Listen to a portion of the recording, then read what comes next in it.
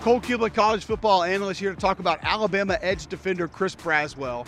Now, Chris Braswell is going to leave behind a lot of the measurables that NFL scouts normally drool over. He's not going to give you the best 40, he's not going to give you the quickest shuttle time, and he's not going to give you the biggest, longest frame either. That length's something that he'll be down compared to other edge defenders in this draft. But what he's going to give you is raw power, weight room power. You see some of the numbers that he put up under Coach David Ballou in Alabama's weight room. It's staggering to think about somebody his stature squatting over 850 pounds. Pound for pound, one of the strongest guys on Alabama's football team the last few seasons, which has allowed him to be excellent in setting the edge against the run. That's where his power will come in handy.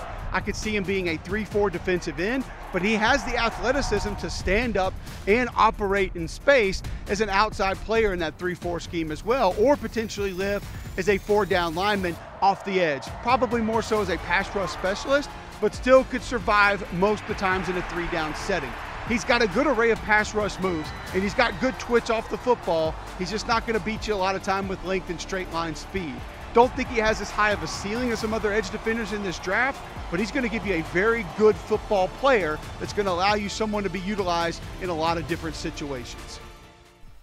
Medical Properties Trust, at the very heart of healthcare.